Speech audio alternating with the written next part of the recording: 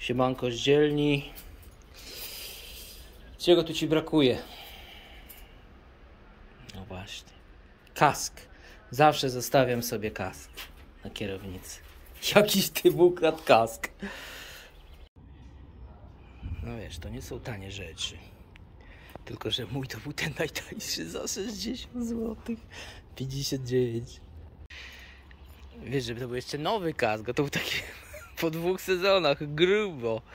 I teraz piosenka dla złodziei. Czy ty wiesz, że mam łupież? Łupież.